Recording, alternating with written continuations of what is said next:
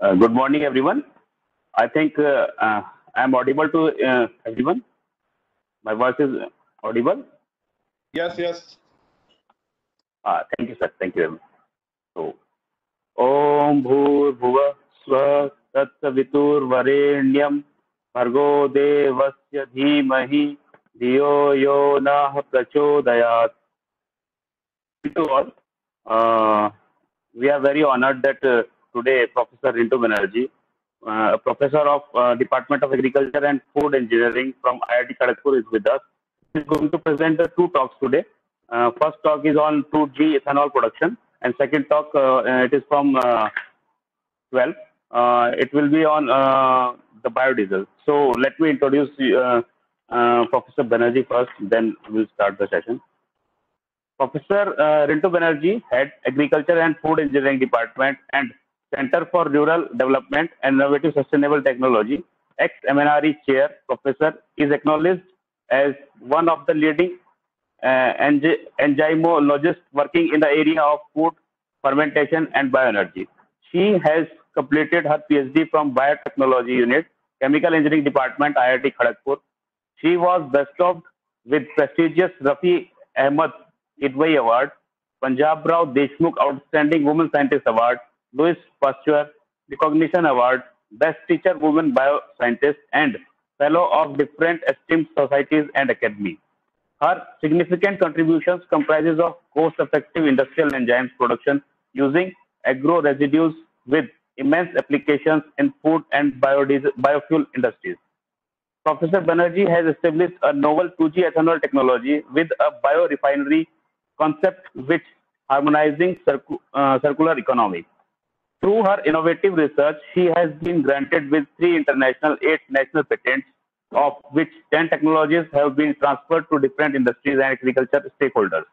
Professor Banerjee guided 34 PhDs, published 199 articles, 49 book chapters, authored and edited a book entitled Environmental Biotechnology, Oxford University Press, and Omics-based approaches in plant biotechnology, Wiley Scrivener Publishers. So, uh, uh, ma'am, uh, on behalf of Gurukul Kangri Vishwavidyalaya, I welcome you here in this five-day FDP on uh, alternate fuels biofuels. Ma'am, the session is over to you. Welcome, ma'am. Please make us aware with your deliberations and please, ma'am, the session is over to you, ma'am.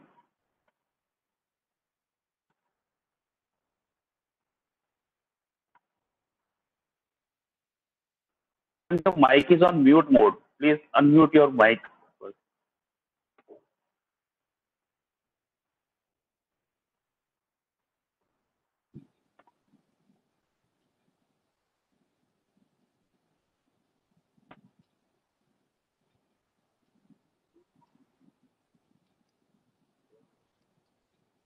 But uh, here, uh, no mic, nothing is coming. Can you hear me? You are, you are audible now. Now, now is it? Uh, I'm audible to you. Yeah, yeah, ma'am. You are audible. Okay. Okay. So uh, the Yes, thing continue. is that I, I want to yes I want to tell something to you that uh, you see uh, here the participants who are attending this uh, particular webinar all are teachers and uh, I think yes uh, my namaskar to all of you. So I'm Rintu Banerjee and presently I'm taking and uh, acting as head of the department of agricultural as well as uh, rural and innovative technology to one big department and one center at IIT Kharagpur. So uh, what I'm telling uh, uh, to you all is that why you have given two lectures in a single day? Because uh, see here this duration of the talk is one and a half hours and then half an hour gap and continuously one and a half hours. I didn't notice because I, I was so busy. Uh, I, I could not notice, but uh, I don't have that much of capability to uh, go for such a three hours, four hours continuous talk. Uh, so can can this be uh, rearranged or can this be be uh, managed some somehow? Because that okay one one and a half hour okay fine But uh, after half an hour, if you, uh, you are asking me to go for another one and a half hour, then it is it is too much for me. Uh, so it, it it will be badly affecting the quality of talk. So that is the reason why I was thinking that yes, I will be uh, talking to you regarding this. But uh, yesterday after 9.30 or 10 o'clock, uh, my uh, that, that uh, other meetings were going on. So I could not get time. It was so late in the evening. So I thought of telling you before I start uh, my lecture. So that uh, it is uh, very uh, that fragile. So can this be rearranged? So that is my. please, you please continue with the first lecture. Then after that, we'll uh, share the uh, next schedule. You please Okay, continue your first lecture. Yes, yes. Thank you. Thank you very much. So that is the reason uh, why I'm just telling that yes, uh, that can be done. Then nothing better than this. So uh, this is this was my uh, request to Mr. Lamba or Dr. Lamba. So uh, with this uh, request, let me start the second generation ethanol production. So before I start the second generation ethanol production, uh, I think uh, let me start with the background that uh, why it is so important. So if we see the the different sectors of our society, then can, can you can you mute uh, can you mute please because some sounds are coming. Can you mute? Yes. So starting from transport sector, to socio-economic sector to value addition gdp energy intensity and emissions, urbanization, electricity and its requirement. So these these particular segments are overlapping. That is very much dependent to each other. When we are talking about the overall development, we talk about the energy. We see the energy utilization. And that way we are telling that how developed we are. How much is the energy uh, requirement? And that is driven driven process for the urbanization. And that is also directly linked with the transportation. And these are very different very much uh, dependent on each other which is indicating the overall development of our society now, if this is the truth, then uh, let us uh, have a very clear picture that what is the energy need and what is bioenergy. And that is very, very important as far as the total globalization or the energy requirement is there. So if we see the energy requirement, then we can find that we have the traditional practices of utilizing the fossil fuel. But with the gradual depletion of the fossil fuel, it is Hello, some echoes are coming. Hello? Yes. So when we are just talking about the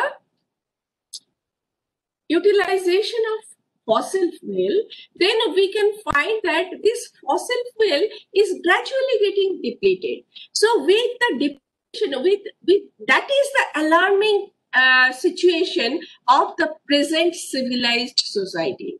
And that is the major concern of us that why we are going for the alternative energy sources. And when we are talking about the alternative energy sources, we definitely we are very much biased on the biosystem, biological resources, which are renewable in nature, and that that has got the sustainable pattern of production, and that can be reliable on this.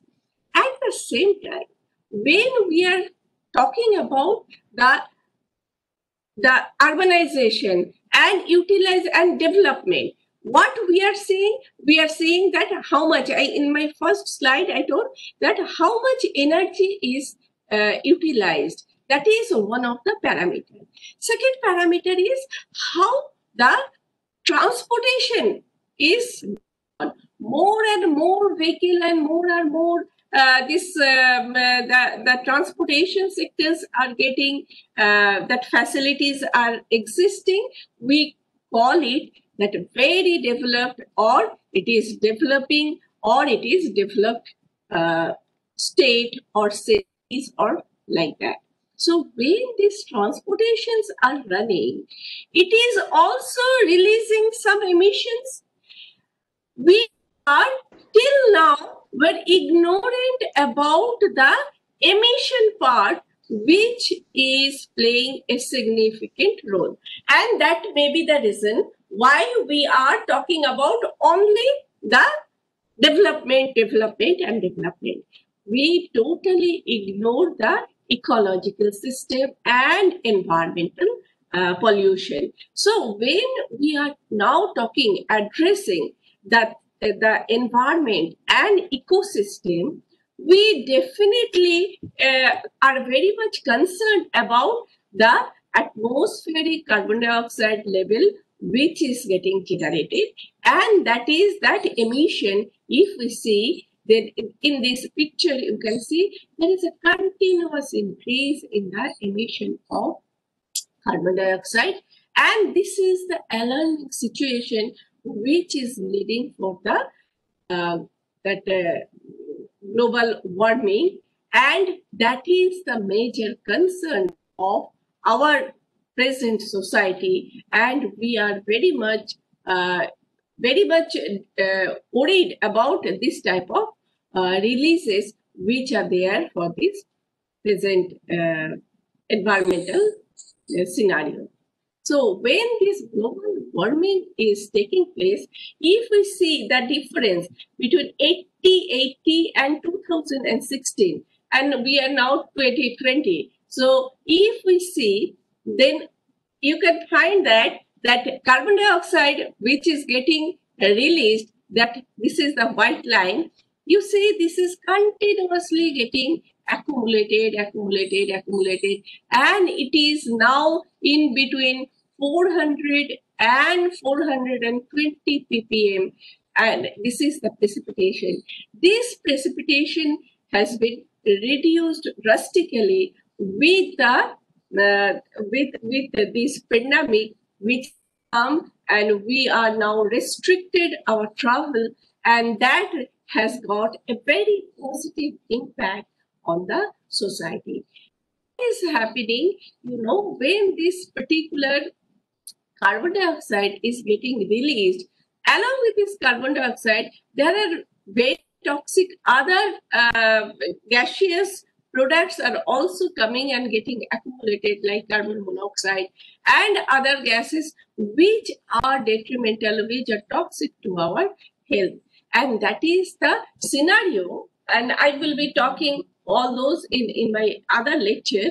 So if we see the bioethanol scenario, then we can find that this bioethanol scenario is gradually is the trend which is gradually and depending upon the uh, the developed and developing country you can find that this different bioform of energy is gradually getting increased. So these are the different uh, forms of energy which we generally use. So starting from coal petroleum biomass natural gas hydroelectricity nuclear energy and other renewable resources, uh, other uh, source of energy. So if we consider, then we can find that, yes, this is the, uh, this bioenergy, this biomass to bioenergy is playing a significant role in this bioenergy research. And that may be the reason why people are going inclined towards the bioenergy and bio, biomass utilization for. So if we see that this is the scenario of 2030. So if we see this 2030 scenario, then you can find that there is a strong acceleration which is needed between the today's present uh, situation and if we predict the situation by 2030 and here different forms of energies have been given. So how much is the industry uh, industry requirement? How much energy we spend in transport? How much is the electricity? And how much is the other form of so that includes the all other forms of energy. So if we see see this is not a very very old data. If we see that 2015 data and 2030 we are now 2020 so if we see this 2015 and 2030 data then we can find that that this is the, the this uh, green one is the transportation sector. So i am just uh, showing you this particular uh, um, uh, sector which has got a very direct impact on this. And other forms are also there but i'm not talking just i'm giving the transportation sector where we can see a very clear uh, picture of the enhancement the transportation requirement. It is in 2050 and the 2030 requirement. That means earlier we used to have one car but now the people, although we are telling that yes, uh, we are below poverty and we don't have uh, this uh, uh our uh, food for uh, survive, but the prediction, the in the actual this data is showing that the reality is something different. So if we see the transportation requirement in 2050 is some amount and that is getting magnified, that requirement got enhanced by three times, by three times. And when the survey has been taken place in the urban uh, cities, it has been seen that four people are staying in the house and four vehicles are there. And sometimes we have also seen that two people are staying and 10 or 12 vehicles are there. So this is the way of living and this is the lifestyle of the urban people, the rich people. They never use the or they never share their own vehicle and they have their own. So uh, parents and two children, so four vehicles are there.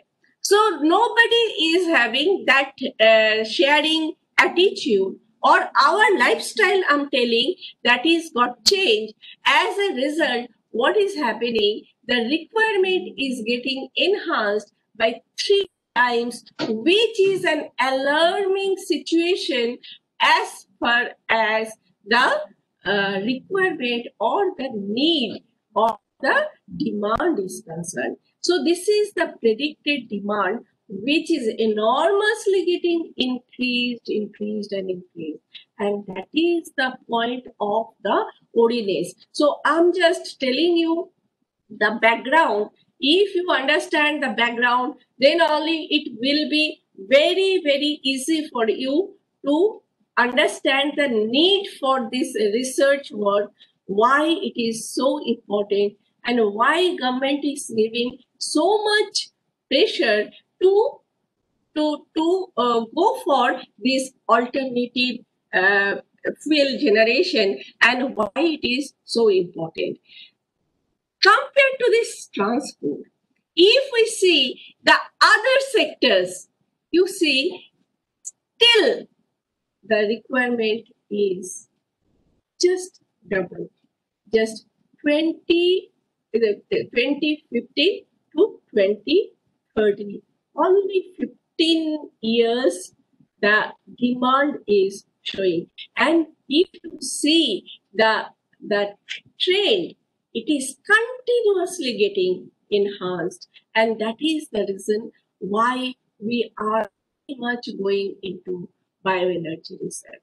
So when we are talking about the global ethanol production, so why is so when we are talking about this transportation sector, we talk about we are showing our origins towards the petroleum products. So petrol and diesel, this is the transportation fuel. So we want to go for the transportation of this uh, the, uh, for the alternate production of this particular or substitute for the petroleum.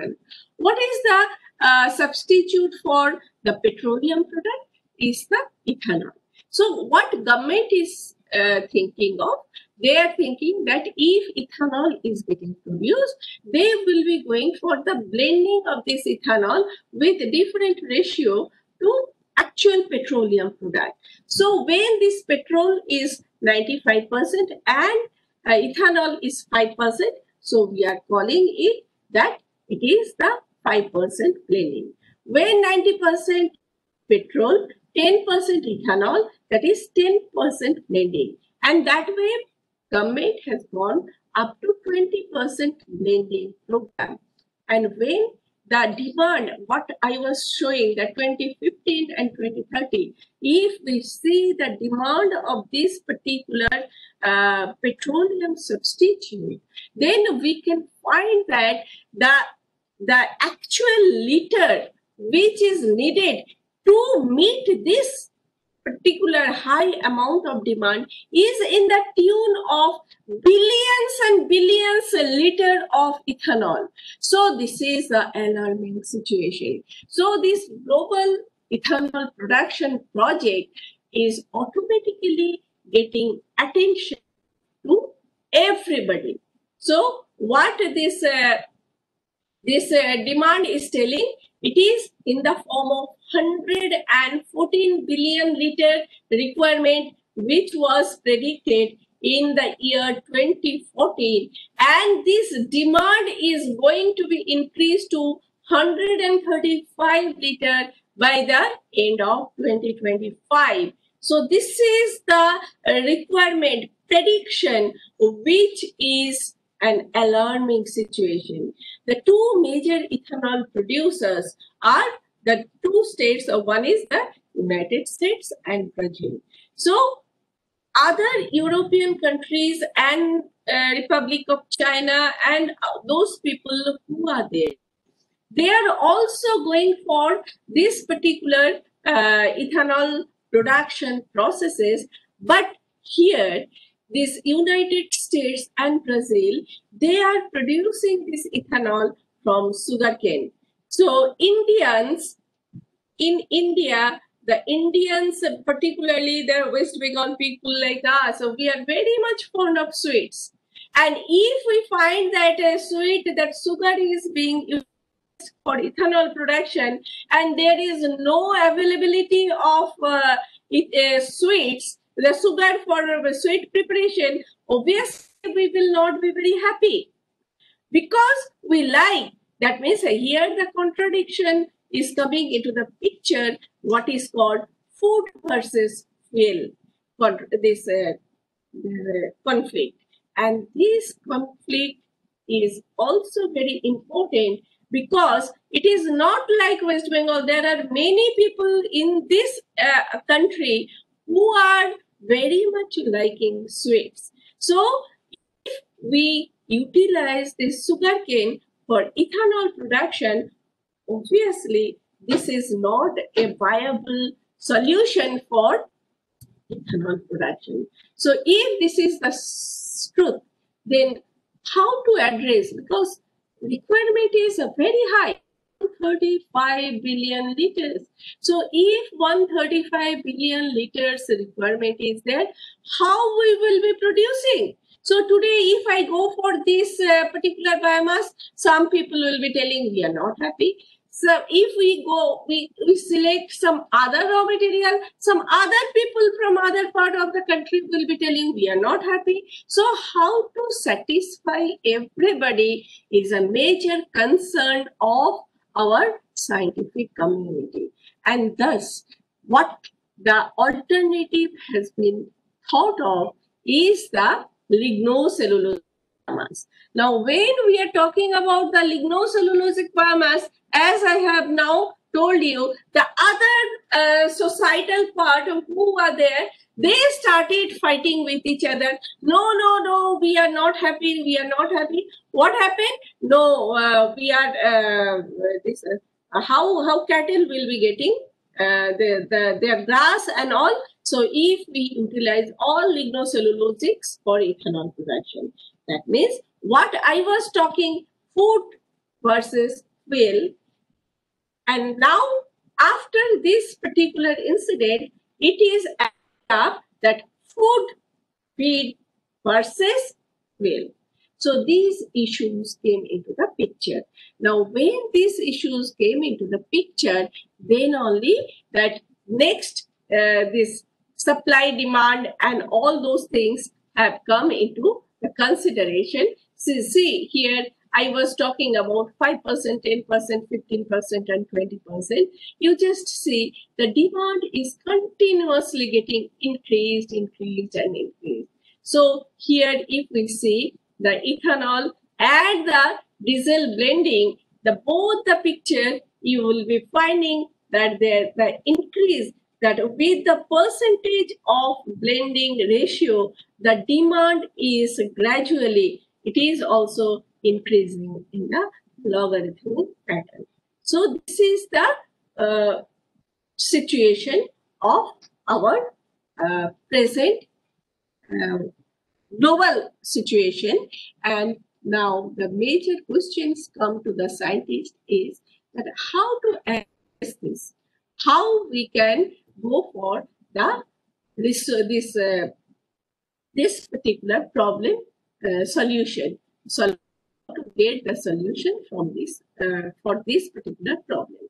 So now let us see the at a glance that and in which way we are going for the classification of these bioresources. So these bioresources are can be majorly divided into direct value and indirect value. So when we are going for this direct value, we are talking about the uh, energy, medicine, and some other uh, activities of the human being. And the major utilization is in the form of food. Where indirect values are considered, we are considering ecosystem and we talk about seed dispersal, carbon cycle, and so on. So when we are just talking about the primary demand, so I was talking about the entire world and how the people are going in this world. So now if we see country-wise that how this particular country wise that the demand is there. So first is China. China's demand is the top, it occupies the topmost position, followed by European country, uh, no, followed by U United States, then European countries, then India, and then the other uh, countries of which who are there. So if we see the demand is so high, how Chinese are producing. So I don't know how much respect you have on Chinese research because China uh, they are very hardworking and they are doing their research day and night and they are going ahead with anybody else. They are working, uh, I think, 16, 17 hours per day, not like Indians. So uh, Indians are uh, not that effective and they, they are not that much dedicated like China. So if we see the world's total world's energy supply pattern, we can find that the this is the uh, information which uh, I have taken from EIA. And so here the coal is contributing 27.9%. Natural gas contributes 22.2% and conventional energy that occupies 31.1%, and some other hydro, wind, solar, geothermal, and this occupies the rest of them. So when we are just going for this prediction, this is the uh, 2012 energy supply scenario and fragmented from this. And when we are saying the predicted, the coal utilization is got reduced. So 20 in 2035, the coal sources will be utilized from 27.9 to 27.2 percent, whereas the conventional one has been reduced to 31.3 percent to 26.8 percent. Natural gases 22.2 to 22.7 percent. But you see the the other forms of energy here, the solar energy, hydro energy, wind energy, and the geothermal, these particular things are getting increased in this particular uh, prediction. And this currently 85 million barrels of crude oils are processed and they are used to meet the energy which is needed in, to meet the global demand. But the demand for crude oil, which are projected to increase from 116 million, million, million barrel by 2030. So this is the very, very important and worried data. So if this is so, we are very much interested to see the prediction from year-wise 2013 to 2023. So we are now here. So within three years, you see there is a clean increase which is showing and the renewable biojet this is and the conventional ethanol is gradually getting increased in this particular prediction. So what we are talking about is the truth of today. That means what is needed is to address, to produce this particular ethanol production, which is needed for to, to meet this. So how we can go for this? So I have already mentioned you about the different forms of this energy. So when we are talking about continuously, I'm talking, have some water.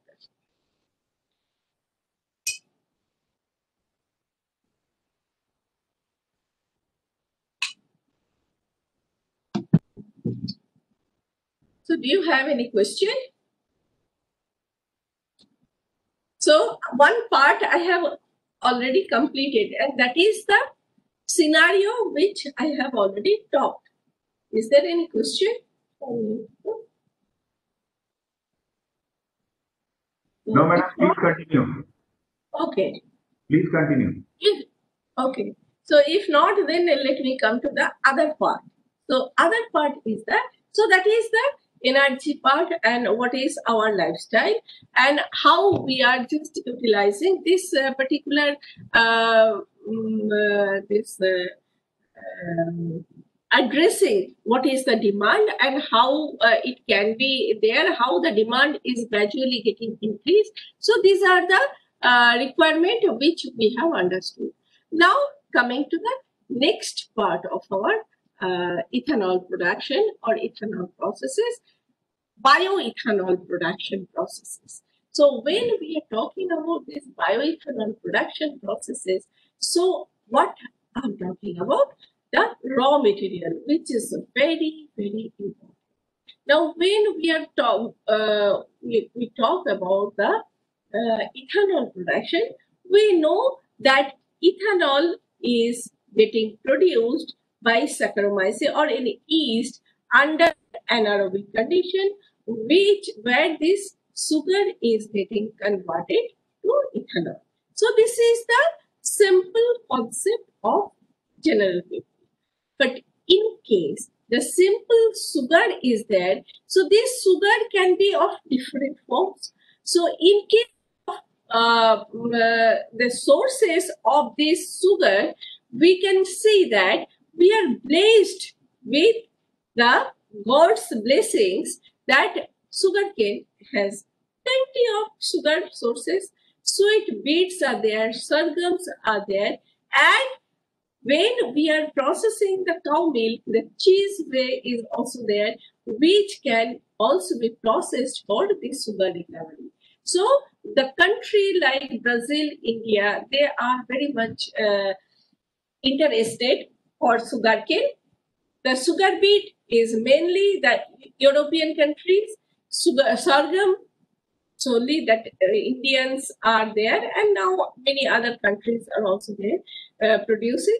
But these are the uh, different type uh, types of raw material which are having the plenty of symptoms.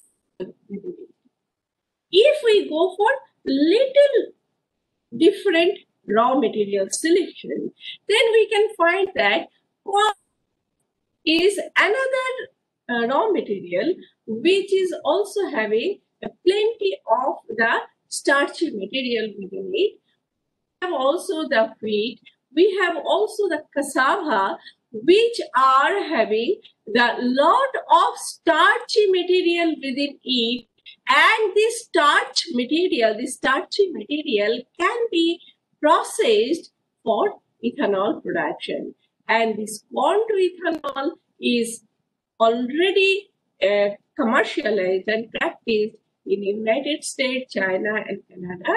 In case of wheat, we are just going for this Canada, China, and European country. And from cassava to ethanol, this starchy material is practiced in Thailand. So these are some of the countries who are already commercializing by utilizing this type of sources which are already already there.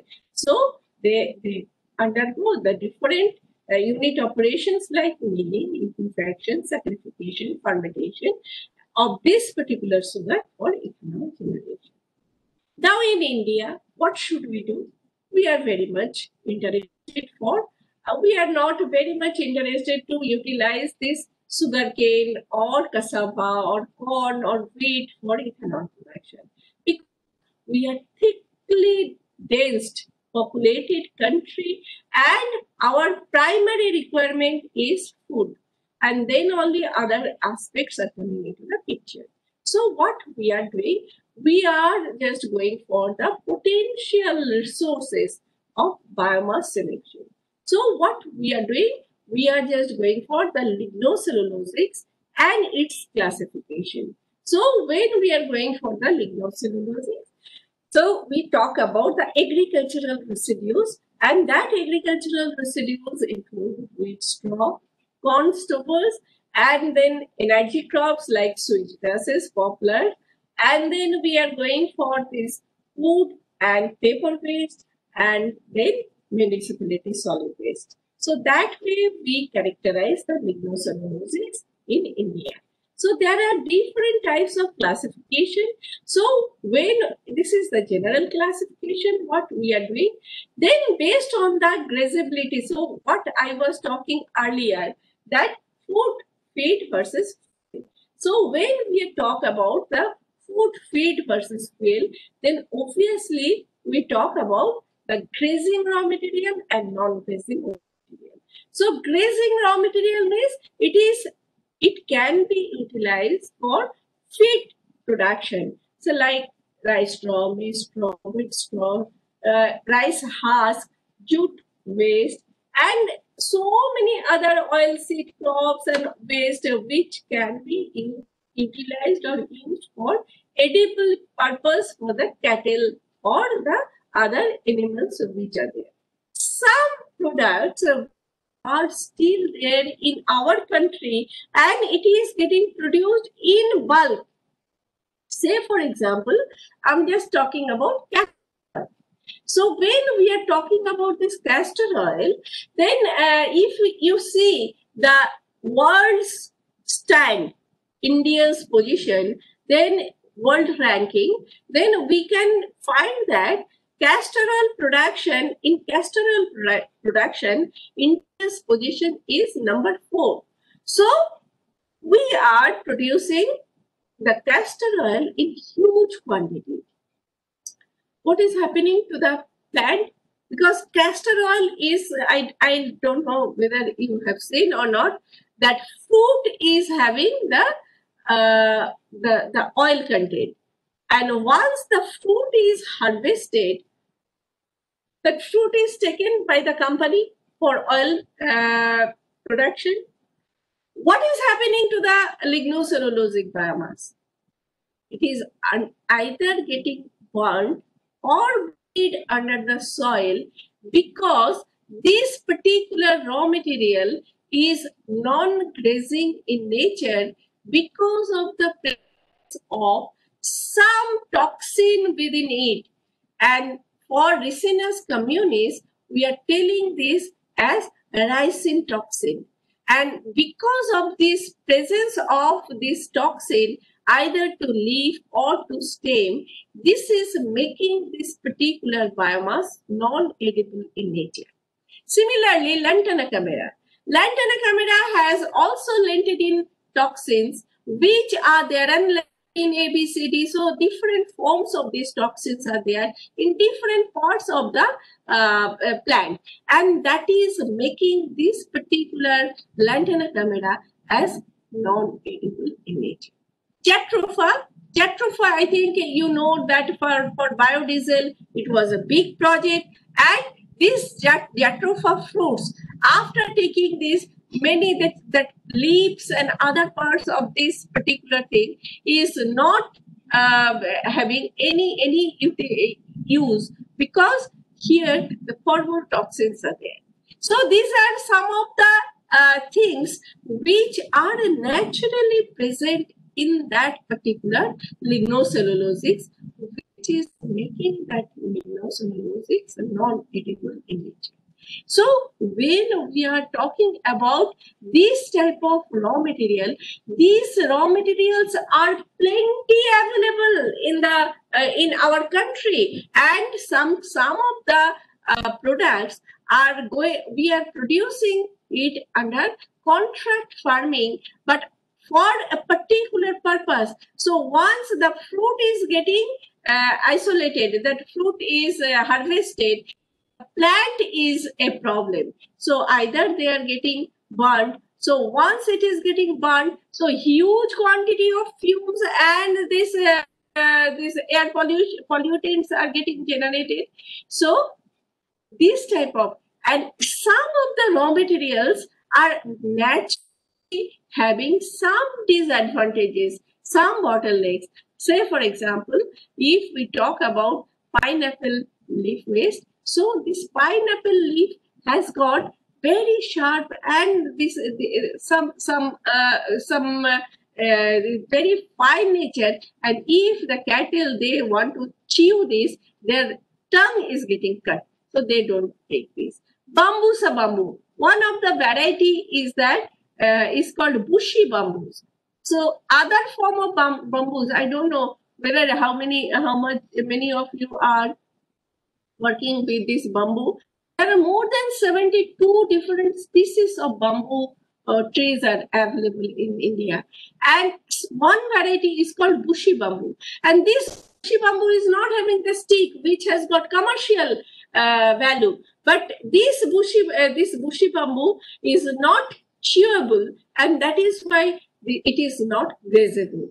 And that is that that are some of the disadvantages of this non-grazing lignocelluloses. But when the scientists they have seen the biochemical composition, the percentage of cellulose, hemicellulose, and lignin present in these raw material, they have seen that this whether it is grazing or non-grazing, it is having a very high percentage of the um, it is having a very high percentage of cellulosic material. That is that cellulose and hemicelluloses are present in a very good amount. So that is the reason why people are very much concerned about burning of these or buried when they are getting buried under the soil.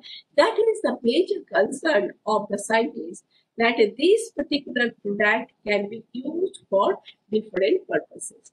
So when I'm talking about this lignocellulosics, now let us come to the actual biochemistry of this particular molecule.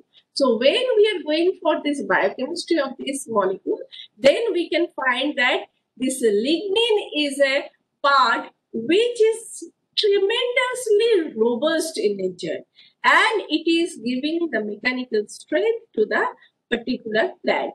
Whereas the cellulosics, uh, cellulosics which are there, that is in the form of celluloses and hemicelluloses, they, they are the, uh, the unique sugars which are present and this sugar can be utilized which are naturally present in that particular biomass and that can be used for different purposes. So when we are just talking about this different form of the sugars and all, then we can find that yes, the sugars can be of different type, pentose and hexoses, and they can be of uh, other other forms. That is in celluloses, it is only having the it is only having the uh, the uh, it is it is only having the hexose sugars but in case of hemicelluloses the it is a mixture of pentoses as well as hexoses. So I will be coming to those classification in the latter part.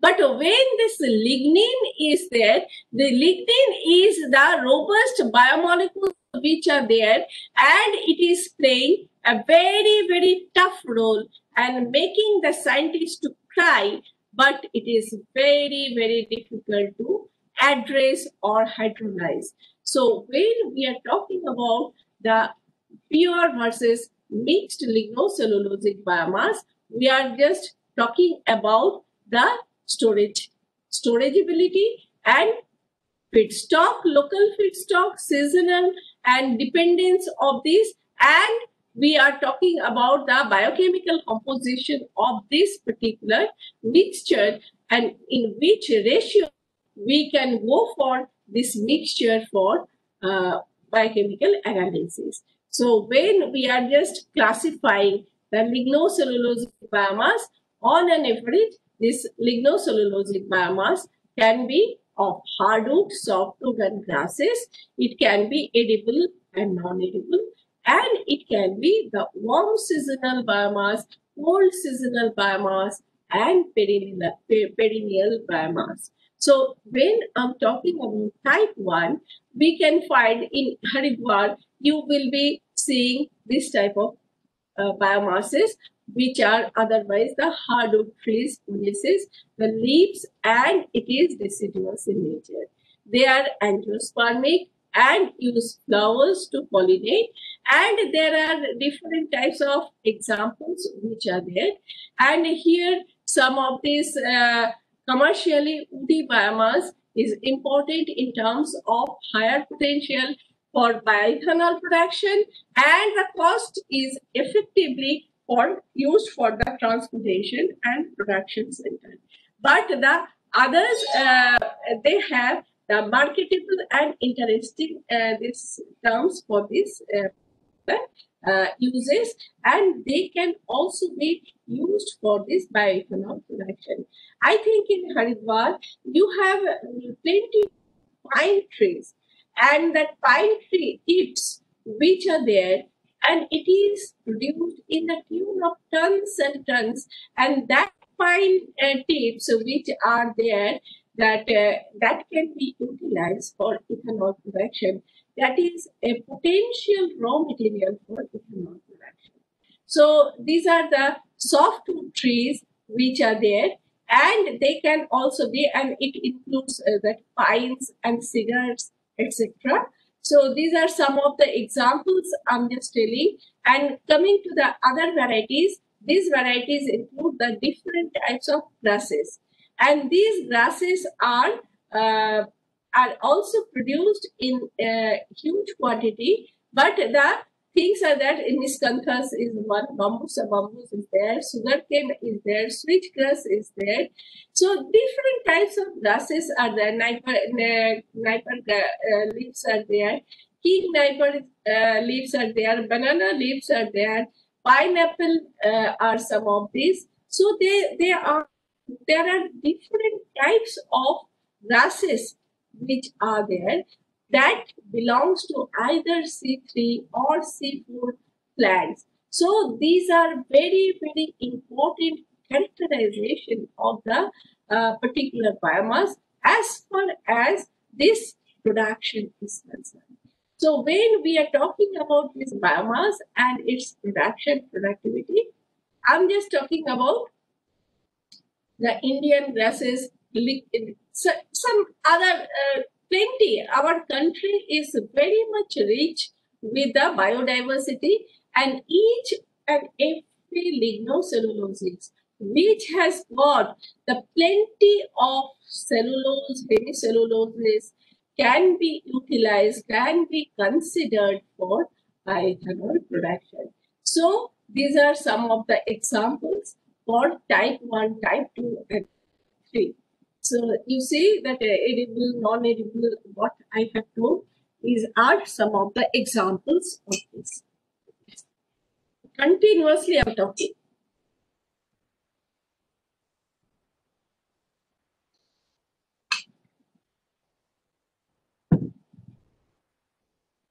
So when I'm just uh, uh, doing this classification of lignocellulosics, then other group of scientists were very much interested to go for the uh, the, the residual after processing of uh, grains or some some food producing uh, plants.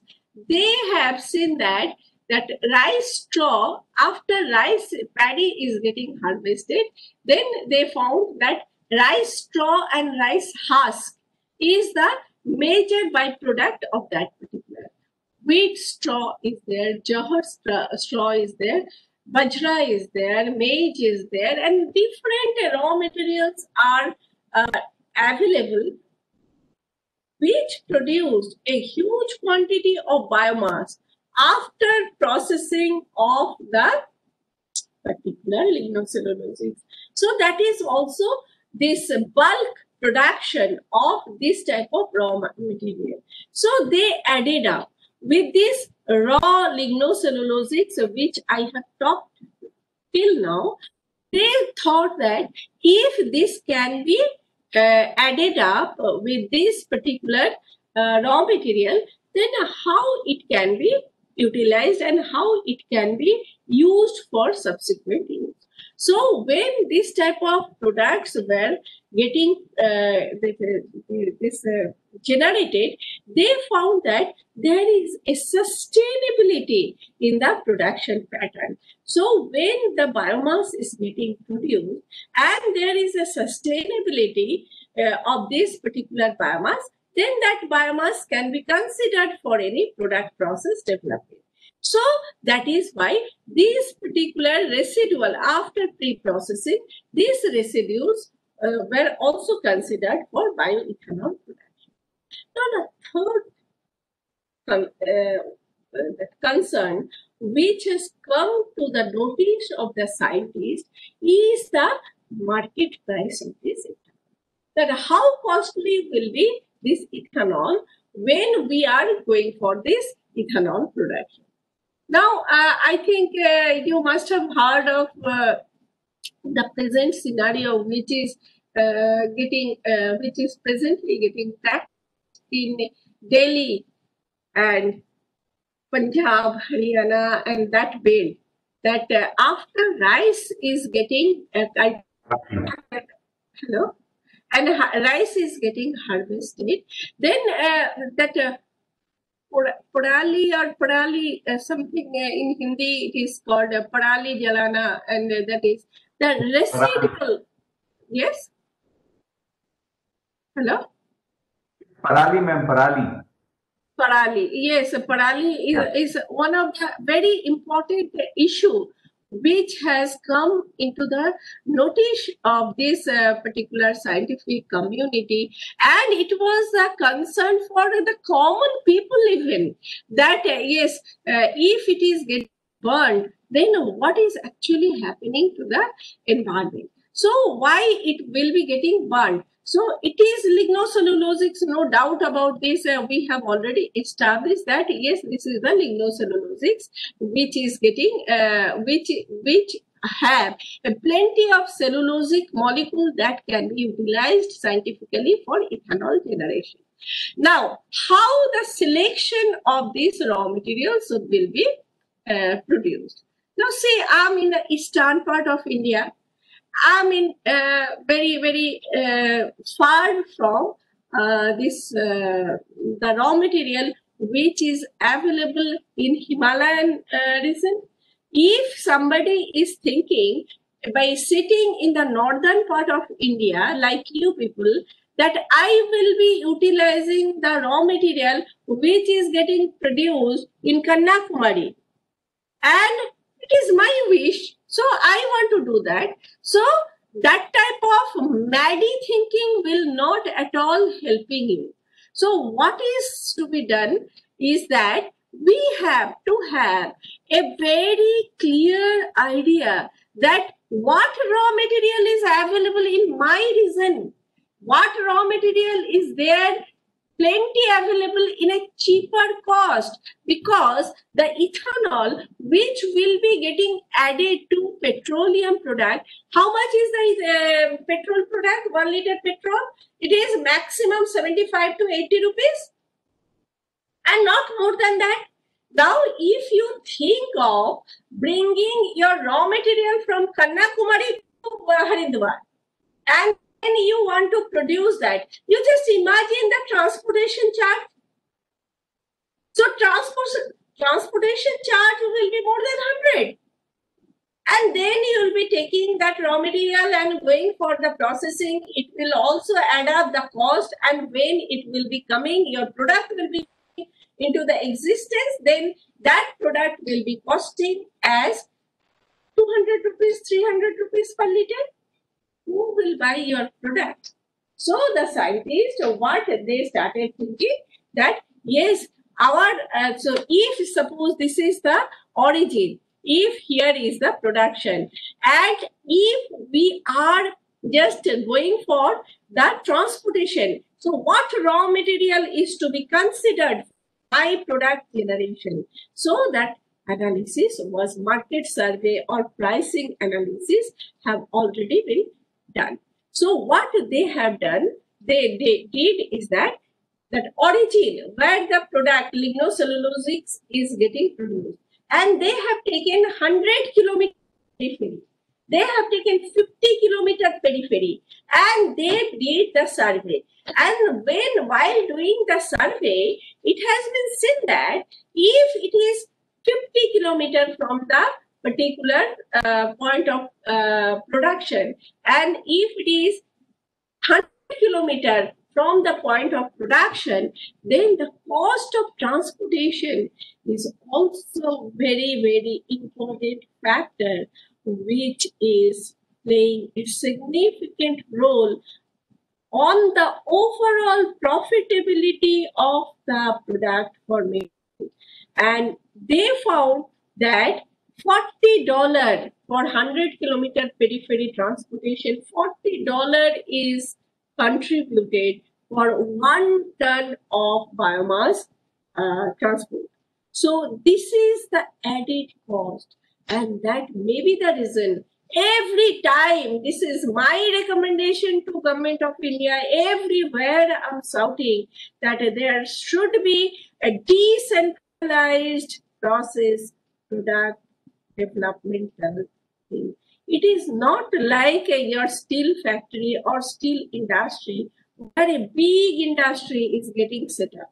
It should be decentralized and depending upon the availability of the raw material, one should go for bioethanol production where and this should be very near to the origin of the biomass which is getting produced. And when this biomass production is taking place and it is not far from this particular uh, origin, then transportation cost will be minimum. Transportation cost will be minimum. Your overall production productivity will be getting in a lower price. So you can make good profit make the process viable. And when it, origin, that means our country is a cultivated country. So lignocellulosic biomass means uh, where the production is there, where production is there, it is in a village, where uh, it is the plenty availability is there, where I'm recommending for this particular plant setup, it is the rural based product. So when the rural based production unit is getting uh, set up, so obviously the rural folk will be getting involved and they will be getting job for that particular activities and the Atmanirbhar Bharat will be automatically getting addressed with this type of product process development and that is the reason why we are talking about this type of decentralized, decentralized rural based process product establishment. Here I'm just trying to show you the importance of this particular global warming. So when this parali is getting burnt in the village, in the field, you see there is lot of this soil, soil, whatever flora, fauna is there, whatever beneficial bacteria are there, all are getting killed. Your earthworm is getting killed. Loss of carbons are there. Loss of biodiversities are there. Health hazard and human system is there because of the fume and foam are there. When this release of soot and particles which are there, they are that they release that smoke and that emission includes the greenhouse gas emission.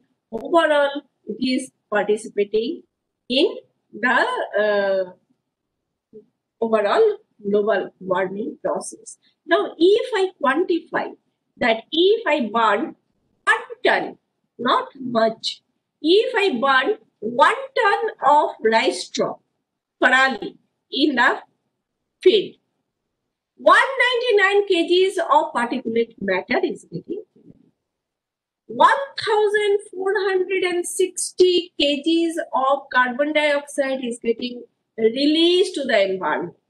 60 kgs of carbon monoxide is getting released. 2 kgs of sulfur dioxide is getting released and 3 kgs of particulate matter is getting released to the environment.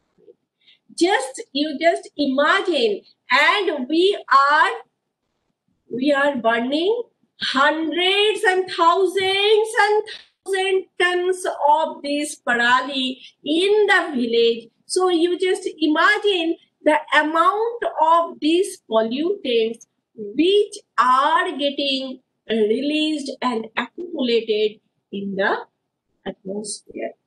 So once it is getting released in the atmosphere, so it is having a tremendous health hazard and people are suffering from lungs disease to anything and everything.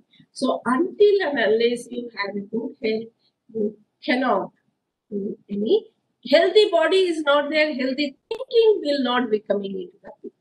So this is the major concern, and that may be the reason why this is the this is coming into the picture when we talk about the particular uh, environment and technology, how we can go for the addressing the process that development with the eco-friendly and environment green-based technology development. With this very small background, I'm just talking about now coming to the biofuel. Now, when we are talking about this biofuel, we divide the biofuel into liquid fuel and gaseous fuel. So, liquid fuel includes ethanol, diesel, and biobutanol, and gaseous fuel includes biomethane, biohydrogen gas, biohydrate, and so, so many things. So, you can now understand from my talk that how how one can go for this particular uh, this this solution when the present scenario is in this imbalanced condition if this is the demand demand is in the tube of an elephant the production unit in our country is can be compared as an ant. So if this is and that too a single ant. So this is the present scenario condi- condition. So this is the present condition and this is the demand. So there is a huge gap between supply and we have to now address this particular issue. Now coming to this lignocellulosic biomass.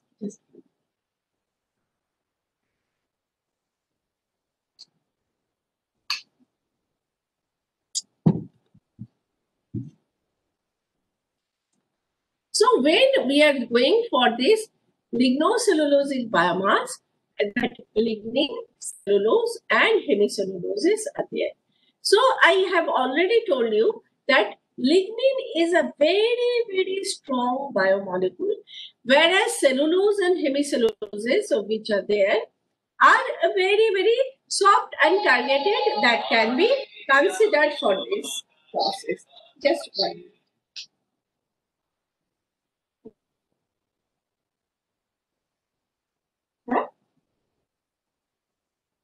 Good.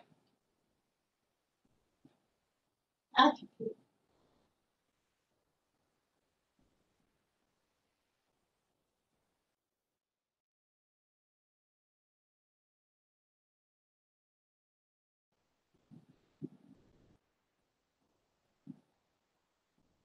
Hello. Hello. Hello. Amisha. আমি আমি সাড়ে হ্যাঁ আমি সাড়ে এগারোটা বের করছি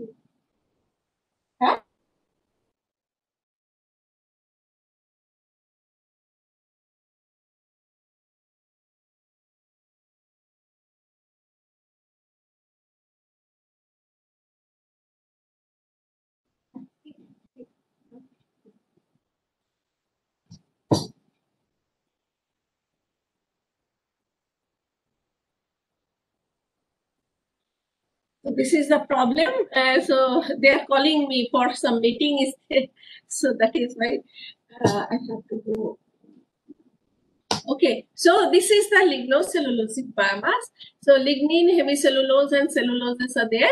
So uh, here, uh, when we are just talking about the first generation, second generation, third generation, and fourth generation biofuel production, we talk about this first generation bioethanol means the sugarcane that juice can be directly uh, utilized for bioethanol production. So when the food grains and all the starchy based materials are used for ethanol generation, so we consider those as first generation.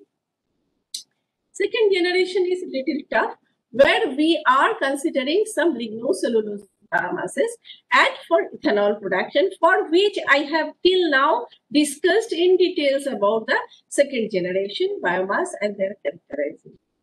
Third generation biomass is the algal based product where this algae is being utilized for biomass generation and fourth generation is otherwise known as the uh, the molecular biology that the genetic engineer genetic, genetically engineered uh, feedstock or microorganisms which are generally used for the ethanol production so when we are just talking about the uh, these challenges in this particular second generation ethanol production.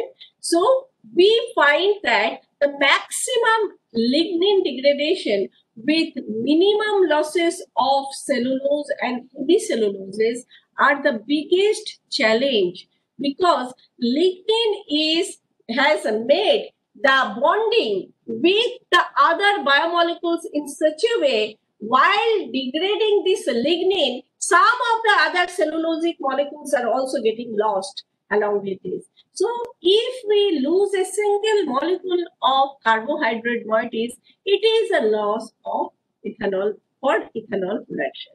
And then we are just going for the efficient deployment, uh, de- depolymerization of lignin without the production of furfural and hydroxymethyl furfural. What is the present practice?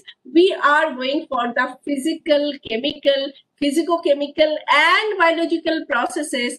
And when we are going for the physical and chemical processes, along with the physicochemical processes, we use different types of devices like size reduction, microwave irradiation, acid, alkali, and some other toxic chemicals uses, hot water, steam exploit, explosion, sound ultrasound, wet oxidation, ammonia recycling, and that supercritical uh, carbon dioxide uh, that uh, which can be uh, used for this removal of this robust biomolecule that is the lignin.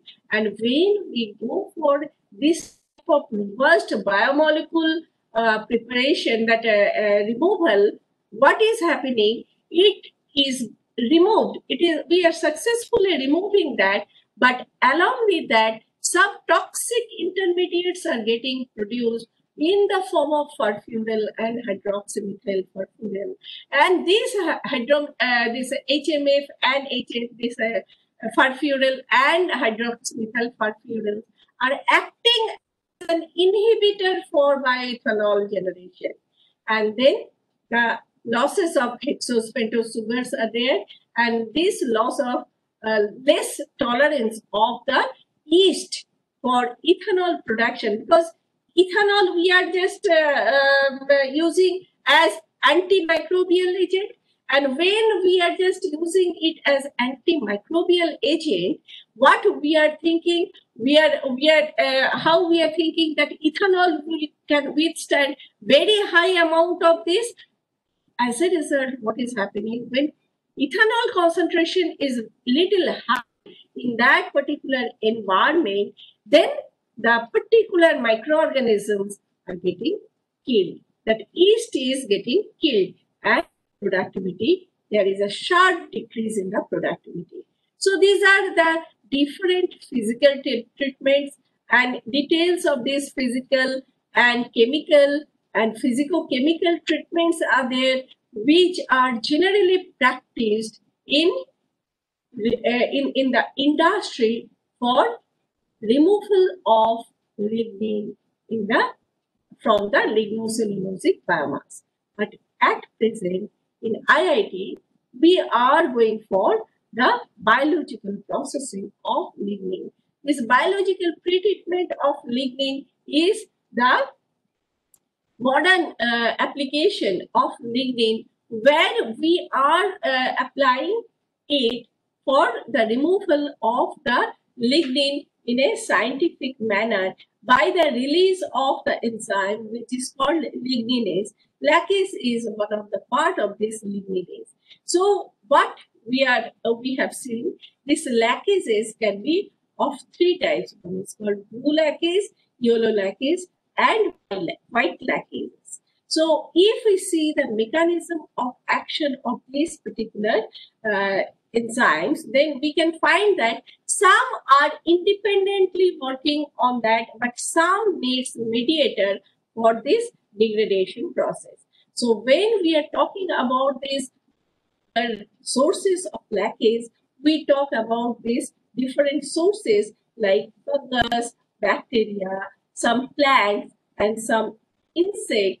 Say, for example, some of the insect in their in their uh, stomach uh, that this type of uh, enzymes are plenty available and we are just going for this particular uh, enzyme isolation and harvesting. So when we are just adopting the strategies for lignocellulosic bioethanol production, what we have seen is that there are plenty of lignocellulosic biomasses. We are just going for this processing with the enzymes. And in this process, what we have noticed is that the water requirement with this that uh, compared to acid and alkali because when you are uh, using acid you have to neutralize it you have to add some other chemicals and then you have to neutralize and then you have to go for the washing. So this washing takes a huge quantity of water which is not needed for this enzymatic processing of this particular biomass. And here what we have seen that as there is no uh, additional chemicals are being used, so water which is getting generated can be very easily recycled back to the process. So this way, what we have seen is that as there is no toxic furfural hydroxymethyl furfuryls are produced, and a low energy driven process is there the with the minimum with the um, minimum effort with the low severity the production is getting very high. That this is the condition this particular uh, process. So once we are talking about the chemical processes along with the enzymatic process so what we have seen is that one if you can go for low severity and then you you uh, may not be taking care of other parts so you'll be getting that low fermentation of the yield.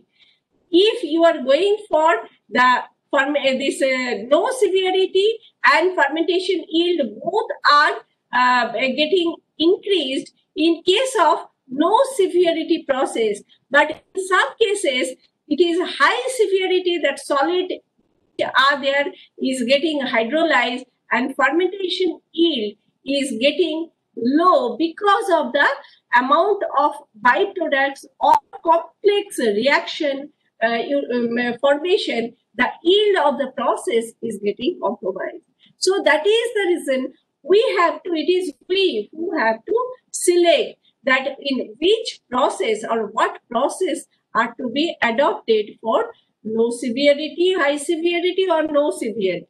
So we have opted for the no severity process where no toxics uh, toxic intermediates are getting produced in this particular process.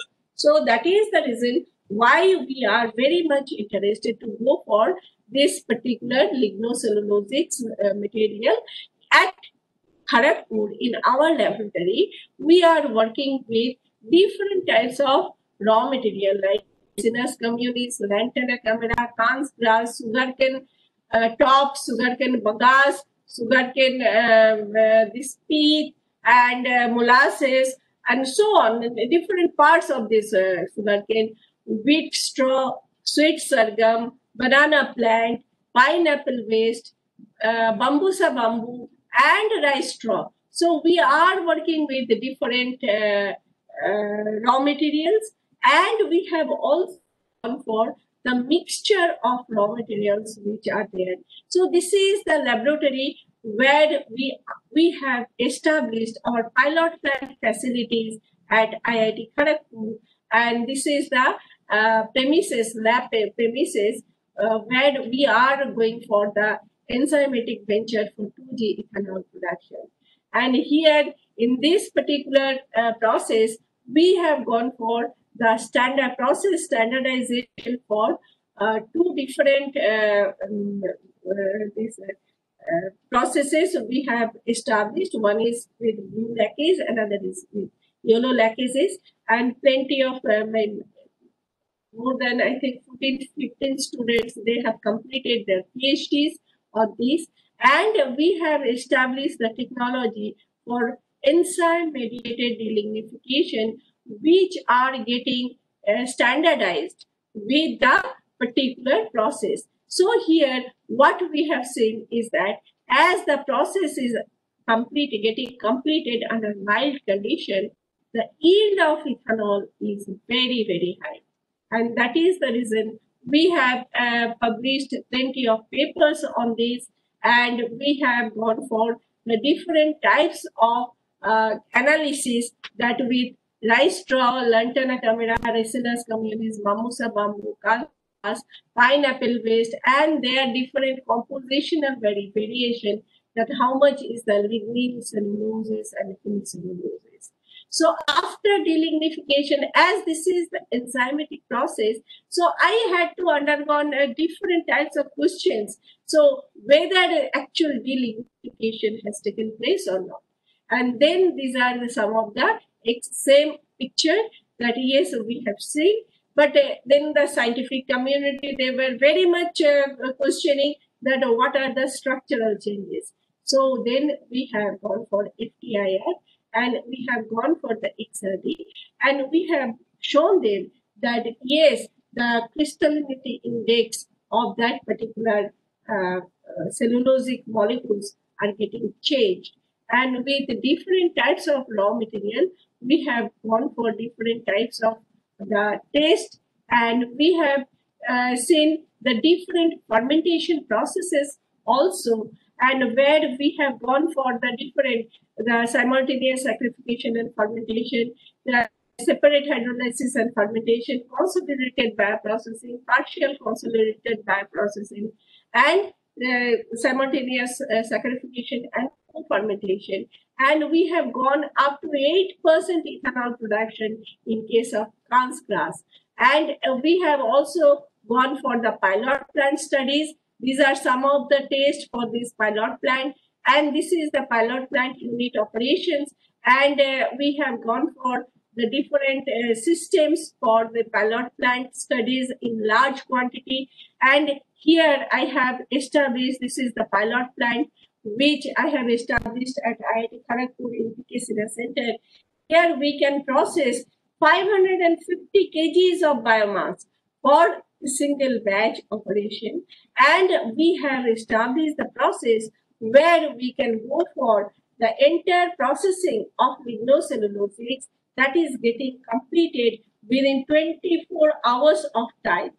And this is the process which is unique in the world and nobody has this type of efficient process where within 24 hours the entire processing will be getting completed these are some of the unit operations of that particular pilot plant.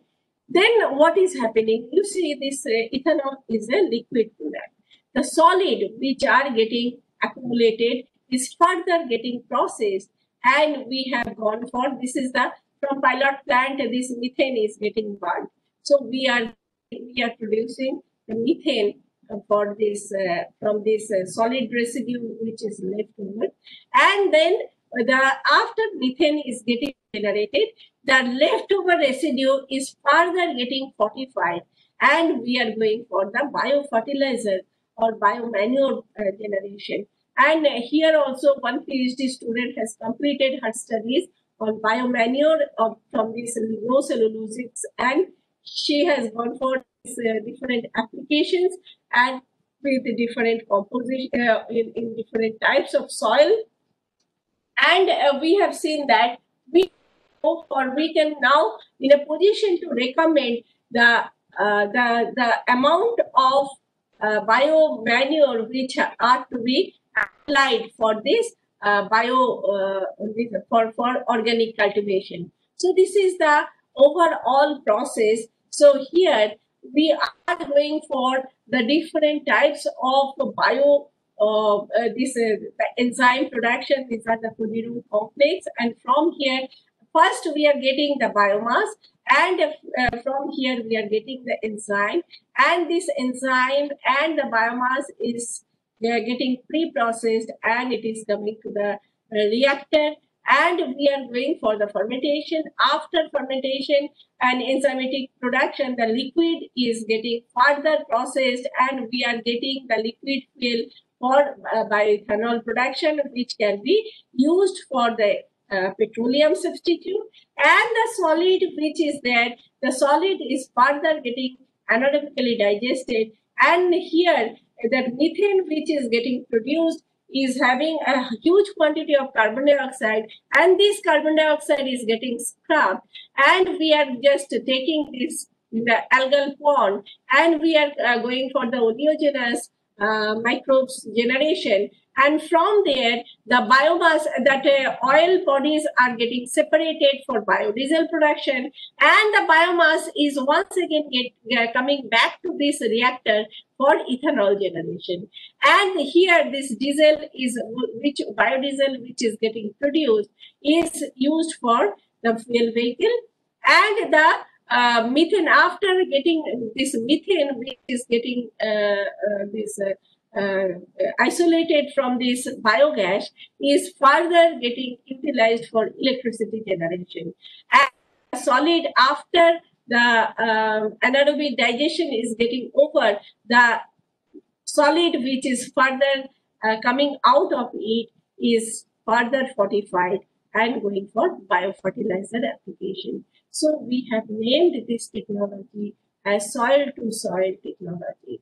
Out of the, as the outcome of this particular uh, project, we have filed four different patents and this is the work I have presented here. So many students, you can see that they are the, the, the those who are on the outer orbital, they have completed their uh, degree, that uh, PhD degrees, and now they are well settled in different universities and institutions. Some of them are in abroad, and